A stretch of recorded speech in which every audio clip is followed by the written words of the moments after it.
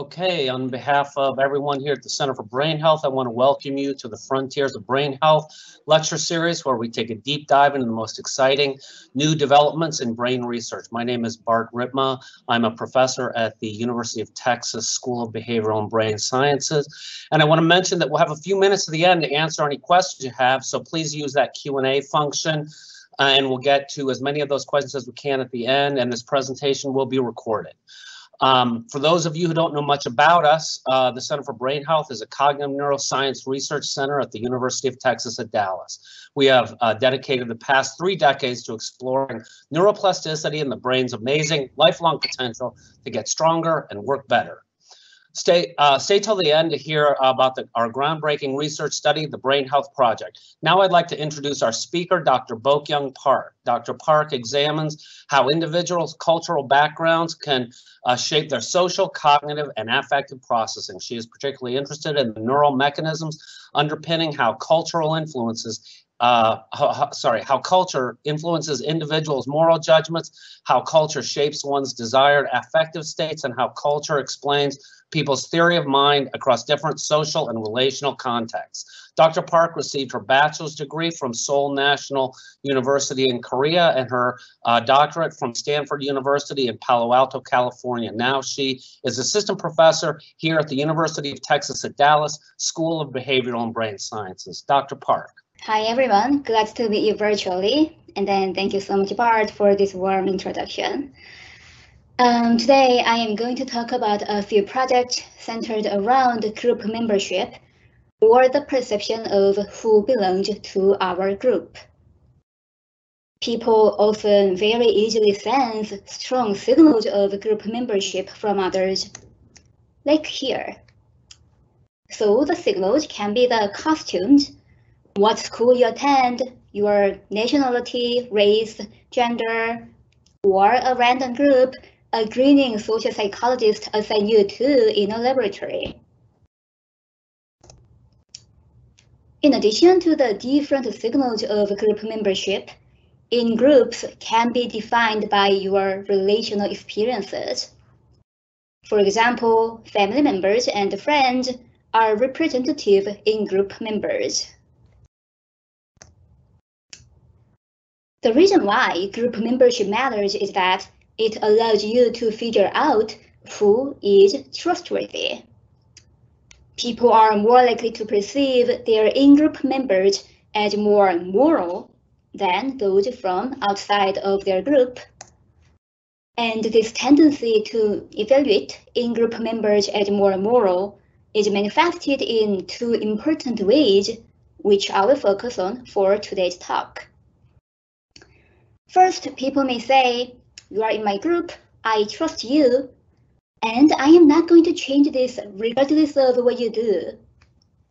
So people's view to others' antisocial behaviors or selfish behaviors can be influenced by in-group status.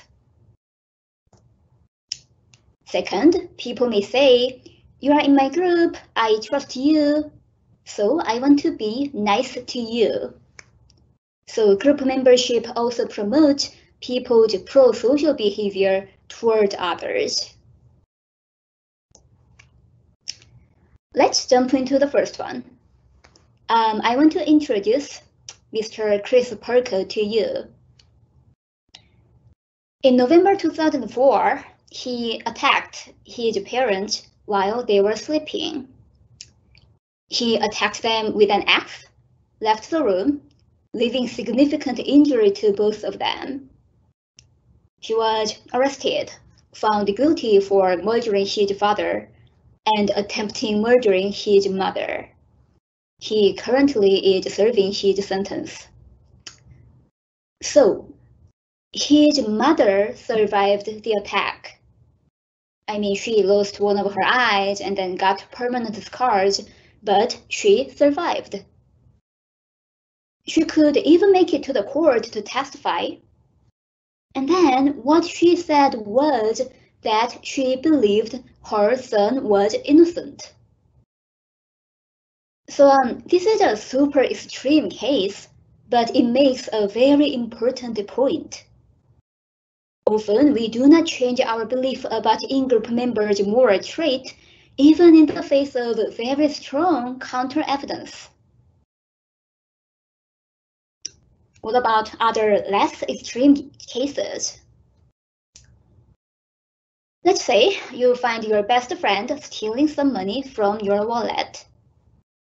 Although you may be very surprised by finding this out, you may give your friend the benefit of the doubt and may not completely overturn your judgment about this friend. So in-group status reduces the influence of others' antisocial behavior on our moral judgment. This phenomenon has been around in social psychology for decades. We know that this effect is solid. Okay then, what do we not know? Well, we do not know the precise mechanism through which people discount in-group members' negative behaviors. And taking advantage of the recent development in computational approach, my colleagues and I modeled this. And we specifically focused on group membership based on one's relational experiences with others or one's friend for this research.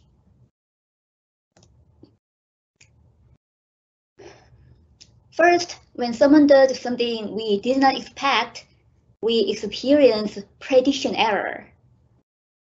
It is the discrepancy between the expectation that we had about this person and the actual behavior this person displays.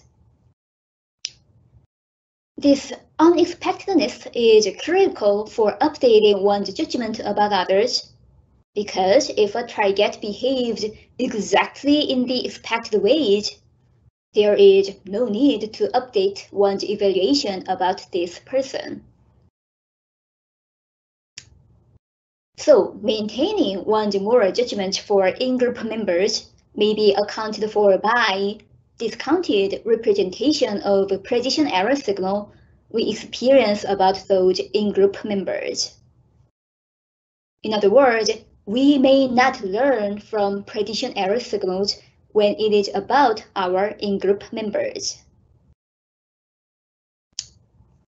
Moreover, previous studies found that when people effortfully process social information, they show increased activity of right temporal parietal junction, or RTPJ. Thus, not blaming in-group members' negative behaviors may mean that people do not put the effort to process those bad behaviors, which would be associated with decreased RTPJ activity.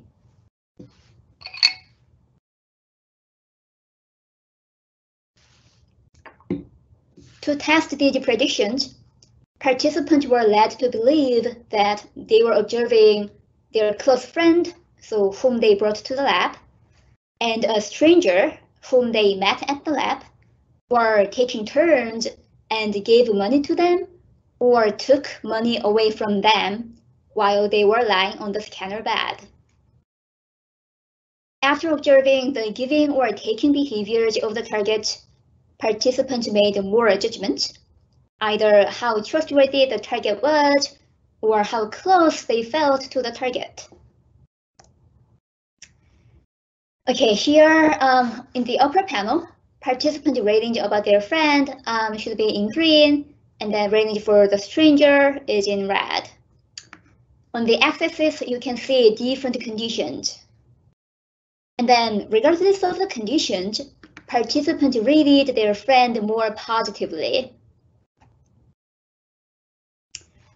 But what we wanted to see was how much people update their ratings between the trials. And then, as predicted, replicating previous research, regardless of whether, the, whether their friend gave or took, participants did not change their rating for their friend a lot, meaning that they maintained their positive judgment for friend. Okay, so that is participant behavior rating part. How about their neural activities? So prediction error could occur when participants observed the giving and taking decisions of their friend and the stranger, which we focused for further neural analysis. Participants showed overall more reduced RTPJ activity in the friend condition. And then this pattern was more pronounced when their friend took money from them. And this was the this was the condition that RTPJ activity significantly tracked participant ratings. The lower RTPJ they showed the more positive ratings they gave to their friend, although their friend took money from them, supporting our hypothesis that decreased RTPJ activity would account for more positive moral judgment.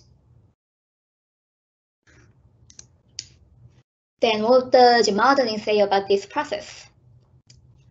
We fitted models to explain through what psychological process participants arrived at these ratings. The model assumed a latent variable, which we call as prediction, um, that participants had regarding how much their friend or the stranger would give to them or take from them. This prediction V is updated in every trial based on the prediction error or the discrepancy between what the participant expected this target to give or take, and what this target actually gave or took. So um, these were the um, components that we were interested in. The model assumed that people use this prediction to make their ratings, which the model tried to estimate, but I will save it for later Q&A for the sake of the time. From the best fitting model, which I will explain soon, we extracted the trial-by-trial prediction error signals.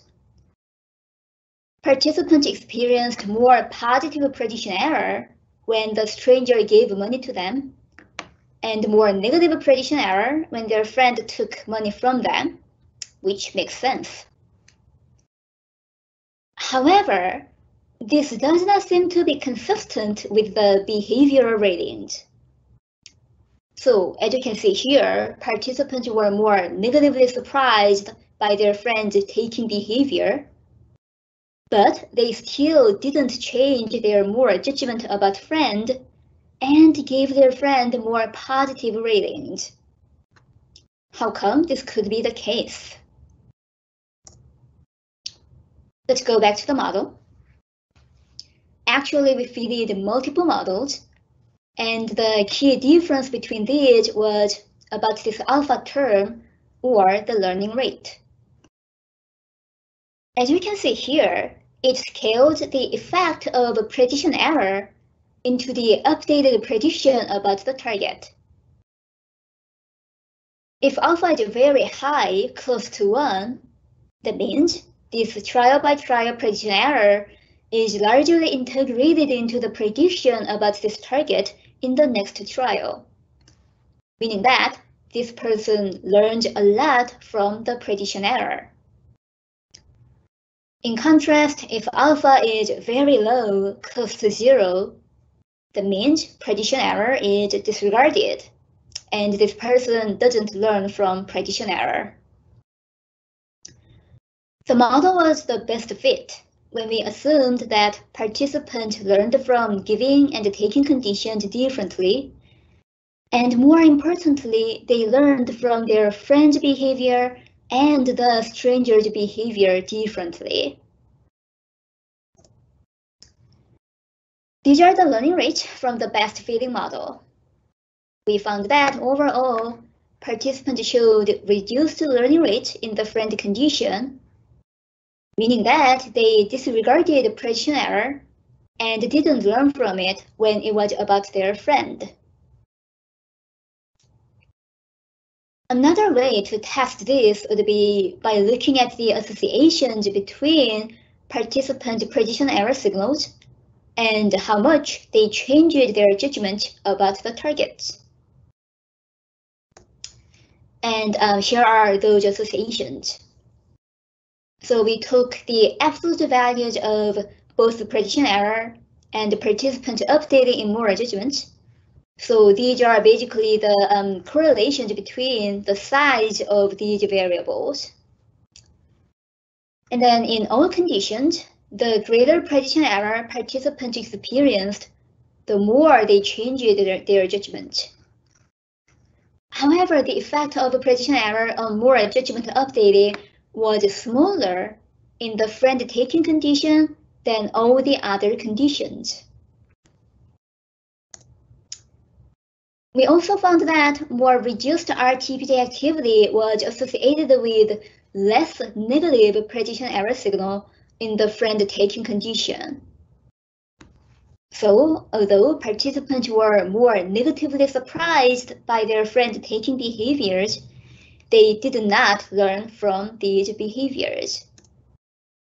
And this underrepresentation of prediction error signal was tracked by decreased RTPJ activity, ultimately contributing to more positive ratings. Now, maybe you are wondering why this is important.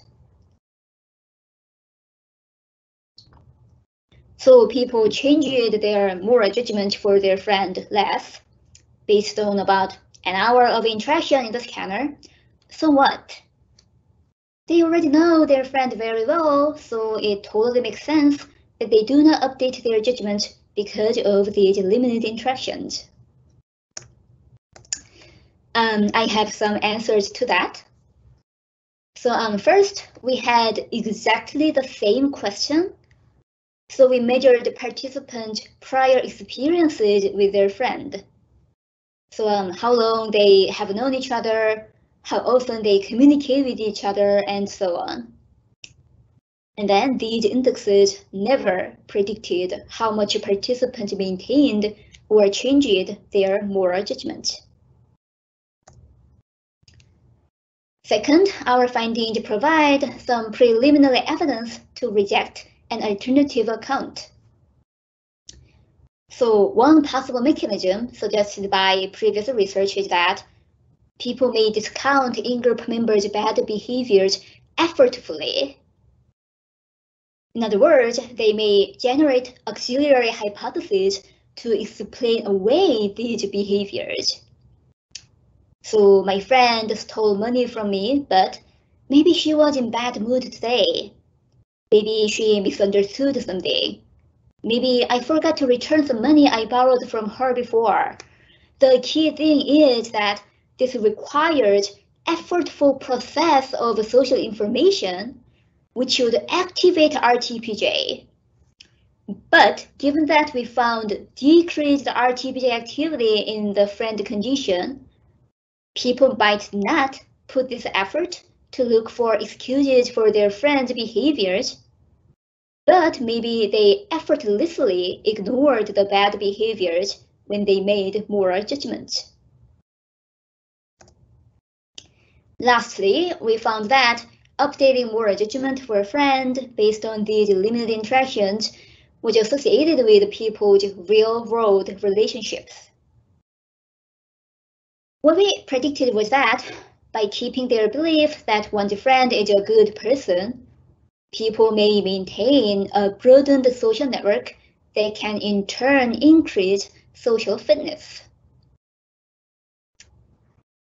To test this prediction in an online survey, we asked a group of participants to imagine that their best friend did some different positive and negative behaviors and measured how much they updated their judgment about the friend.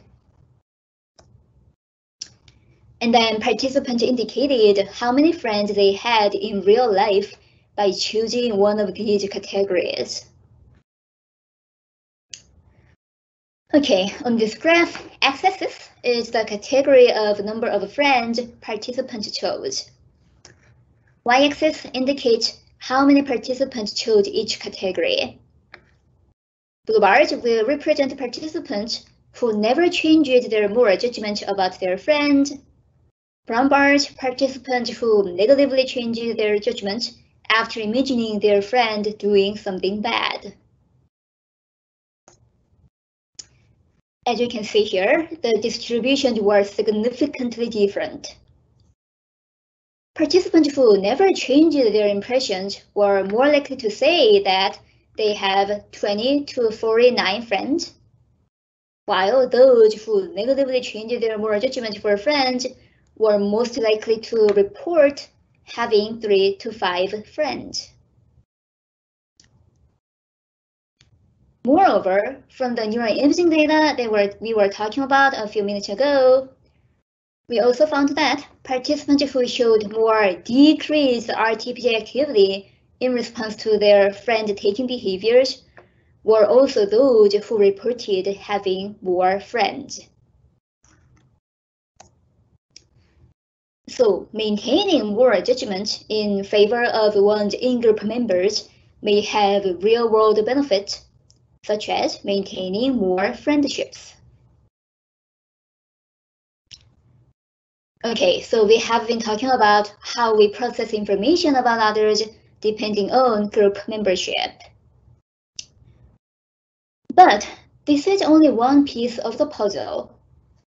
So in-group status influences how we perceive others' behavior, but in everyday social interactions, the behaviors are bidirectional. As well as others behave toward us, we also behave toward others.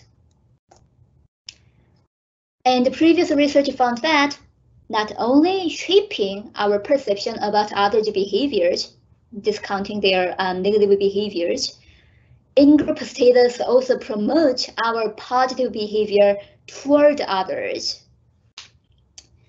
And this process is not limited to only our family and friends.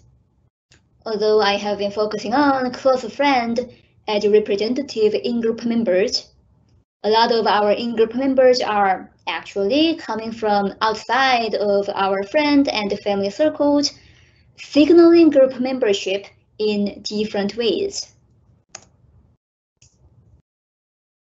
Especially in this multicultural society, we receive signals regarding group membership from everywhere. For example, in this picture, you can very quickly notice some salient cues such as race and gender. And these explicit signals have been the center of the research in the field for decades.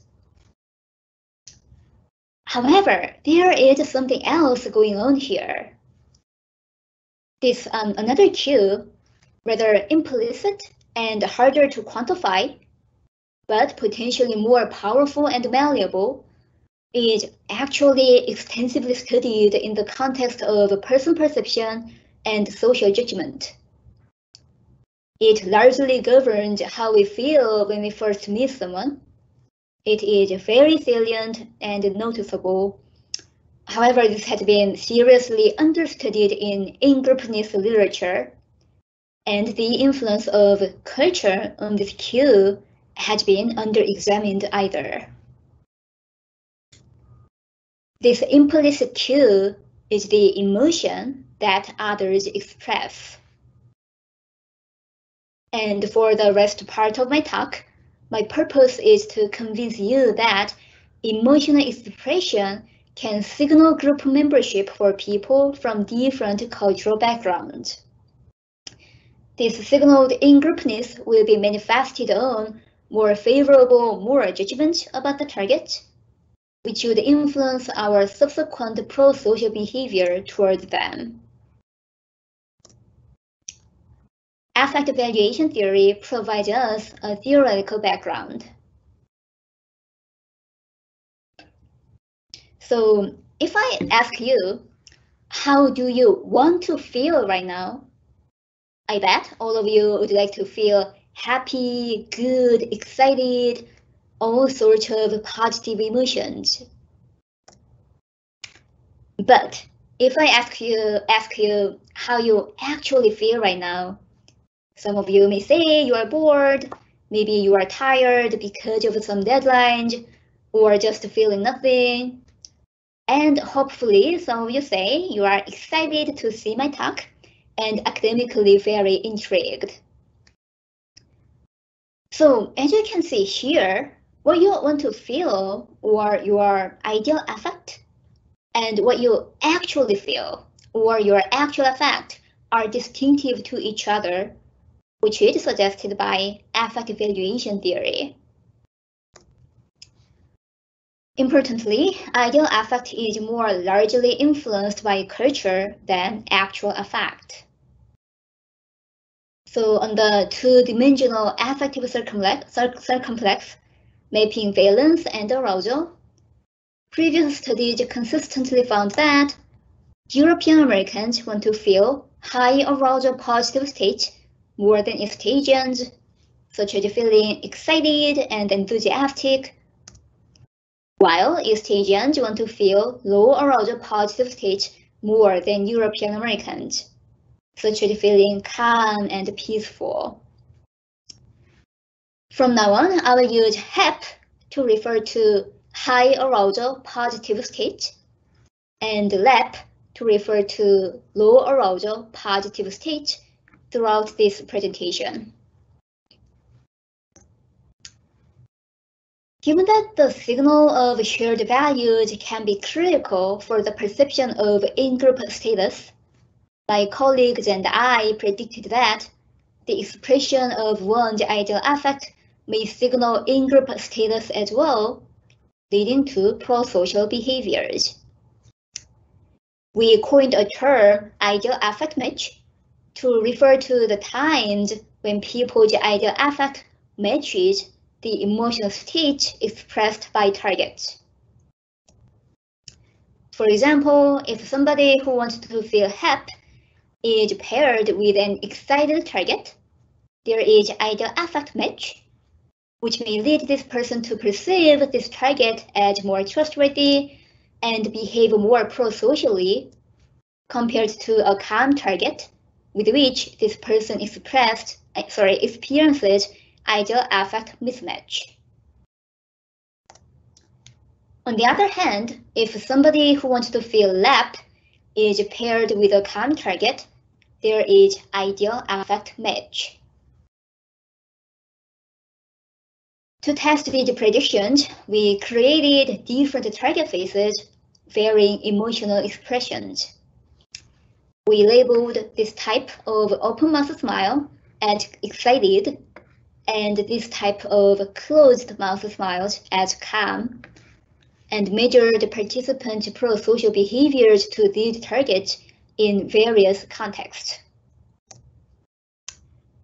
We found consistent patterns in simple preference decisions and more high-order resource sharing decisions, including giving, trusting, and lending decisions. Um, I will zoom in two of them today. Start with giving.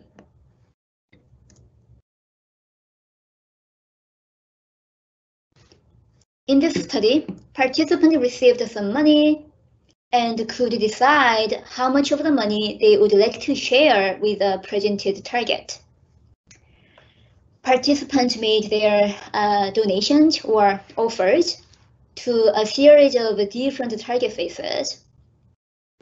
They received a new money at the beginning of each trial, so they um, so their offers to different targets were independent to each other. We recruited European Americans and Koreans as representative groups that value HAP and LAP, and LAP respectively. After participants made um, giving decisions to all targets, they viewed a subset of the targets again and rated to what extent they perceive each target as trustworthy, along with other personality measurements. We also measured participant ideal and actual affect, and here are the results. First, European Americans wanted to feel HAP in this black bar more than LAP in this white bar. Um, different letters indicate significant differences European Americans offered more to the excited target than to the calm target. And they perceived excited target as more trustworthy than calm target. Koreans, on the other hand, showed exactly the opposite patterns. They valued LAP more than HAP, offered more to the calm target than to the excited target, and rated the calm target as more trustworthy than excited target. This pattern persisted regardless of the race and gender of the target. So between the targets sharing the same racial and gender characteristics, European Americans always gave more to the excited target, while Koreans always gave more to the calm target. Mediation analysis reveals that European Americans wanted to feel LAP more than HAP, which led them to perceive excited target as more trustworthy than calm target, which ultimately made them offer more to the excited target than to the calm target compared to their Korean counterpart. Participant actual affect did not change these findings. So we found empirical evidence showing that in-groupness signaled by ideal affect match promotes pro-social behavior through increased perception of trustworthiness. Then what would be the underlying neural mechanism? So from the first part of this talk, you may remember that decreased RTPJ activity was underpinning more positive moral judgment for in-group members. So replicating this in a new context, we predicted that decreased RTPJ activity would be, again, associated with more positive, positive moral judgment for a target whose emotional expression matches participant ideal affect, which would in turn associated with greater giving. So um, another group of participants looked at different target faces in the scanner and indicated how much they would like to give to each target. And again, the more that they valued HAP over LAP, the more they offered to the excited target than to the calm target. And the more they valued LAP over HAP, the more they offered to the calm target than to the excited target. Then we looked at the brain activity right before participants made these offer decisions. First, we found that decreased RTP activity preceded greater giving decisions. You can see this linear decrease of RTPJ along with increasing subsequent offers. Moreover, the RTPJ activity was also significantly modulated by ideal affect match. The more participants wanted to feel HAP over LAP, the higher RTPJ activity they showed in response to the calm target. And then the more participants wanted to feel LAP over HAP, the higher RTPJ activity they showed in response to the excited target.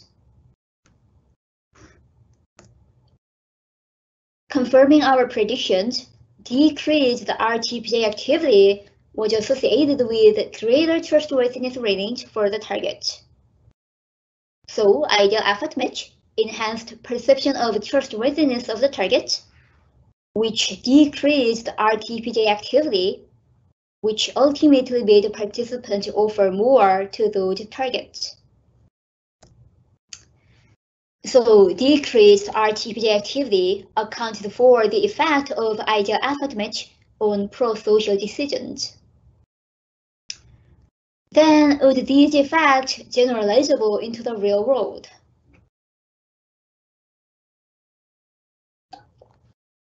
To address this question, we looked at lenders' lending decisions in Kiva website.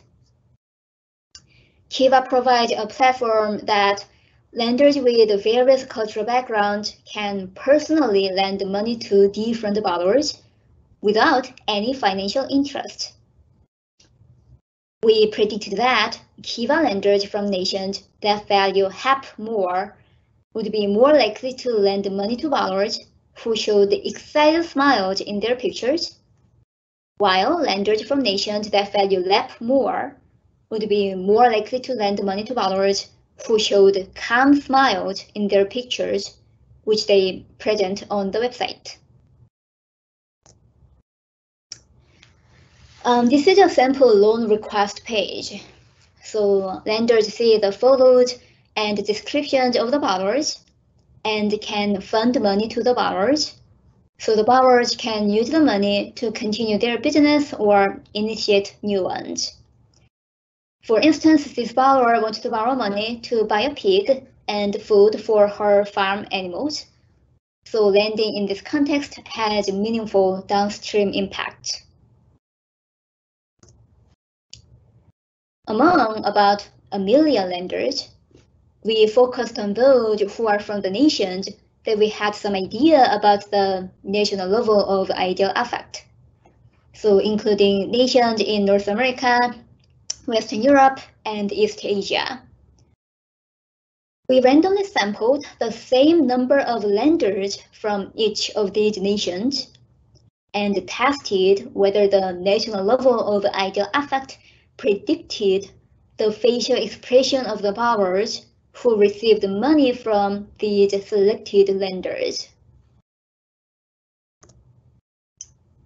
We downloaded the borrowers um, who received money from our selected lenders and coded their facial expressions as excited and calm. I will plot the relationship between the national level of ideal affect and the borrower's facial expressions. National ideal LAP was not significantly associated with borrower's facial expressions. But we found that national level of ideal HAP significantly predicted greater occurrence of excited smiles of the borrowers. So the more the nation values HAP, the more likely lenders from that nation lent money to excited borrowers. In contrast, we found that the more the nation values HAP, the less likely lenders from that nation lent money to calm borrowers. So there is some evidence that mismatch between lenders' ideal affect and borrower's emotional expression decreases pro-social decisions.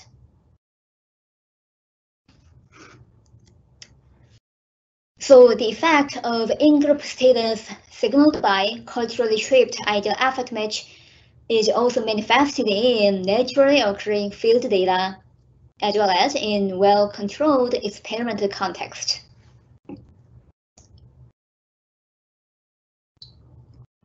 All right. Um, I think now is a good time to wrap up. So first, how in-group status influences our view to others' negative behaviors. My colleagues and I addressed this classic social psychology question using recently developed computational and neural approaches, finding out that decreased learning from the prediction error signal and decreased RTPJ activity accounted for moral judgment maintenance. Second, how in-group status influence our behavior to others. In the second line of my research, we looked at whether emotional expression of others can signal in-group status dependent on the perceiver's cultural background. And then as predicted, we found that culturally shaped ideal affect makes people positively perceive certain others or those whose emotional expression matches their ideal affect and show more pro-social behaviors toward them. Importantly, target race and gender never significantly modulated the effect of ideal affect match, suggesting that emotional expression may signal group membership very strongly above and beyond these traditionally studied features.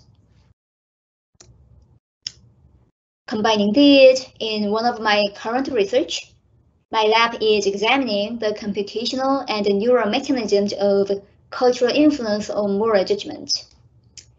We have some exciting pilot data that we scanned here at the um, Brain Health Center, and I am happy to talk more about that if you are interested.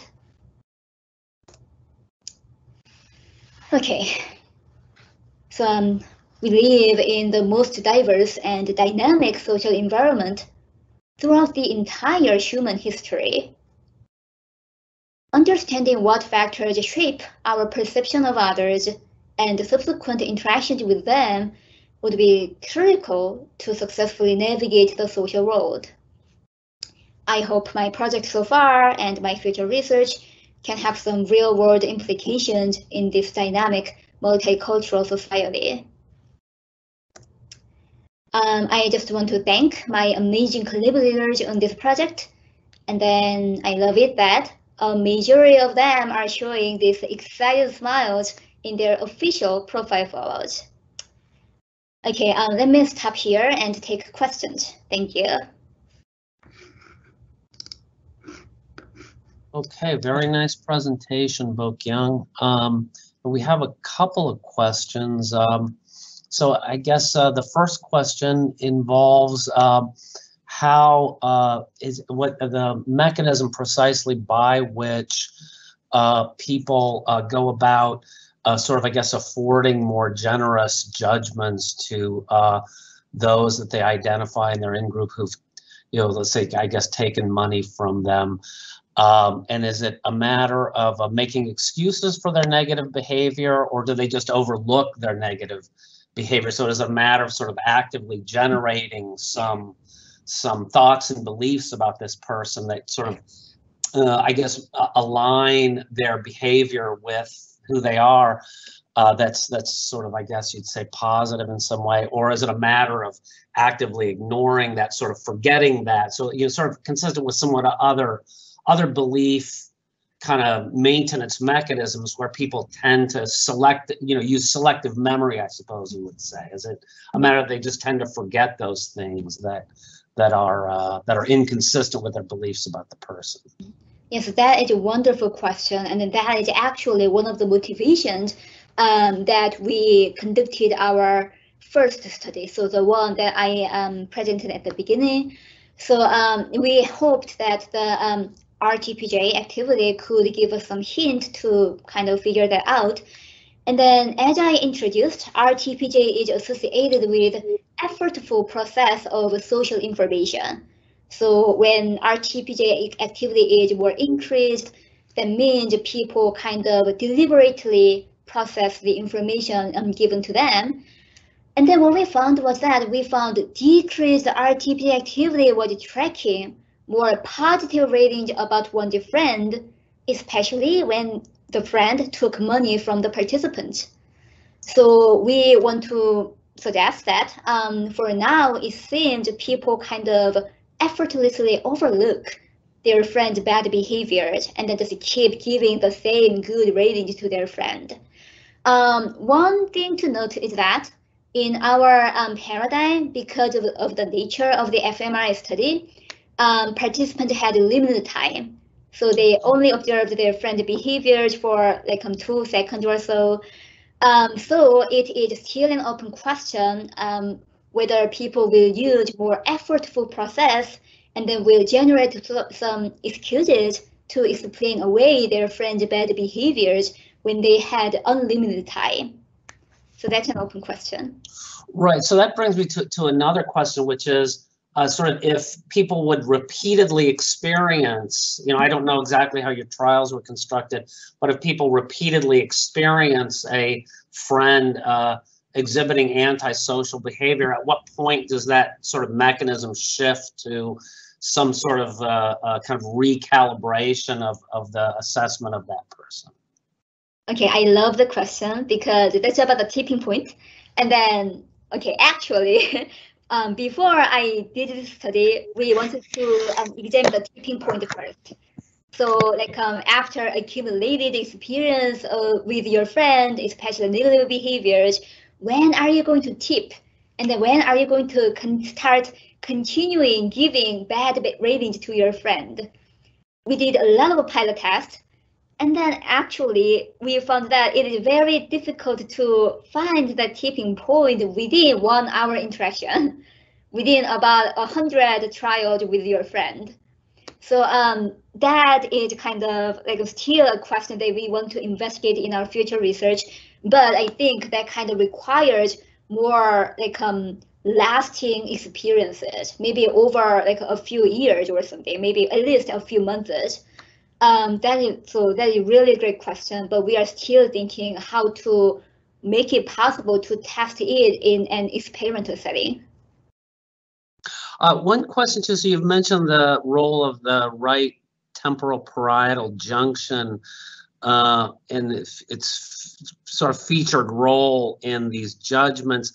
Uh, do you believe that this that these judgments um, that this region is the exclusive or sorry these judgments are the exclusive province of this region or do you think that it plays a role in sort of a larger network of let's say social uh, kind of judgment, like social judgment network or something?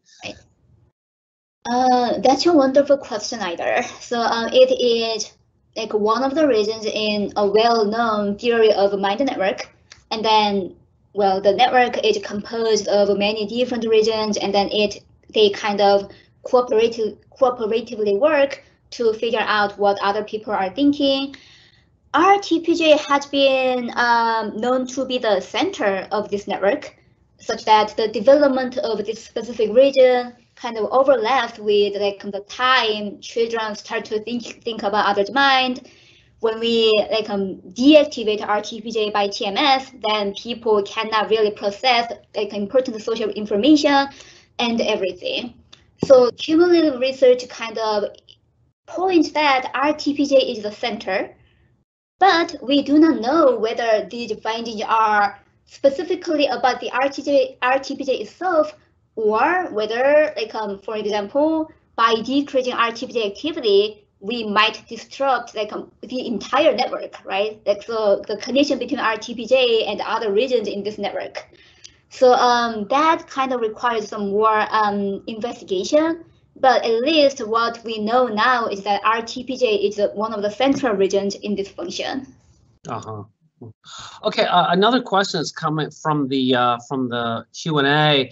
It, it sort of goes to the question of how do people uh, go about uh, making in-group versus out-group judgments about others. So uh, uh, it might be on on the basis of things like their appearance, but it also might uh, be on the basis of the of the values that they express. Um, so, so do you have any uh, any uh, information? This would sort of be, I guess, sort of kind of on the front end of this process. How do people evaluate others with respect to their in-group status, with respect to the to the person who's doing the judge making these judgments? Okay, that is really great question. Let me see. So as I kind of try to introduce at the first beginning, there can be two different types of in-groupness, right? So one is about signaled in-group. So such as when you first meet somebody, you kind of see that, okay, this person shares the same race with me. This person is also female like me. This person smiles like um has this open big smile. Um, I think I kind of we kind of we kind of are like in the same group from the same group. So that is one. Another one is more relational in-group status. So it's more about like um, you build this in-group status over time, such as what you do with your friends and family members. Um, so there are two different sources. And then of course, like um, your signaled in-group member can like um, change into relational in-group member like um, over time. Um, yeah. And then like um, when people see like strangers, I would say it is more about the signaled in-groupness. I see. Okay. Um, so um, that uh, sort of, I think, exhausts the questions that we have um, at this time. Uh, so um, if there aren't any more questions coming into the chat, I seem to this that there's one more, but I can't seem to this from someone. But so I think we'll uh, we'll close it there unless there are any other questions coming in, and um, and and we'll wrap it up there. So thank you, BoKyung, and um, we want to um, then um, move on to uh, describing our um, our brain health project. Lifelong brain health is our shared mission, and uh, so we want to thank Dr. Park and um, and uh, our our audience and those who contributed questions. Um, and so we'll go from there. So um, the Brain Health Project uh, uh, involves the power of research that truly lies in how we use it to make the world a better place. So we've launched a large-scale landmark study about maintaining and improving brain health. Um, brain health and performance. Uh, so if you're interested in learning more about the Brain Health Project and possibly participating in it, uh, please scan the QR code you see there on your screen uh, with your phone uh, and uh, visit the brainhealthproject.org. That's the Brain Health Project, all one word, .org. And for those of you who are interested in CEU credits for these talks, please email ceu.utdallas.edu. And I want to thank you for joining us, and we look forward to seeing you virtually on December 3rd for our last lecture of the series with Dr. Lynn Lin from the University of North Texas. Thank you, everybody. We work, we live, we innovate, and create. At the center of it all is your brain health. The ability to solve problems, think analytically, share empathy, and thrive. We're trying to make brain performance really the next fitness revolution. So, how do you boost brain power? Welcome to the Brain Health Project, an urgent call to transform your mind to work stronger and faster. This is an absolute crisis as great as any we have ever faced.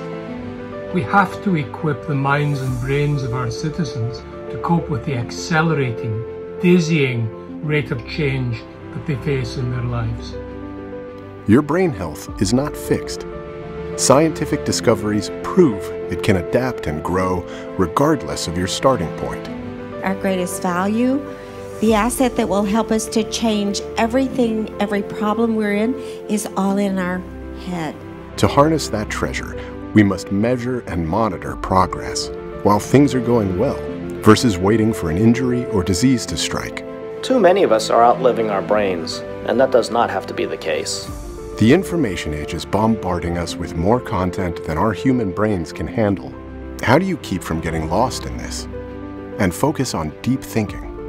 For starters, stop multitasking. Science shows us that multitasking is bad for your brain. It reduces fluid intelligence, causes brain atrophy, and increases chronic stress. The global pandemic is creating more stress than ever, stress that leads to depression and anxiety and beyond.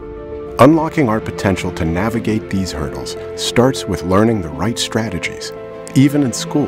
So when teachers have these strategies, they're empowered to support our learners, and then the learners are now able to take ownership of their learning. Training kids how to think is doubling academic achievement among middle schoolers. I think the greatest national security threat is pre-K through 12. If we don't take care of educating our young men and women then we have to ask ourselves, where, where are we going to be in 20 years? Our world-renowned scientists know you can increase your brain health, not lose it. It's time for a new category of health, brain health. You are a game changer. Ready to transform the world with us? Be a part of the brain health revolution. It starts here.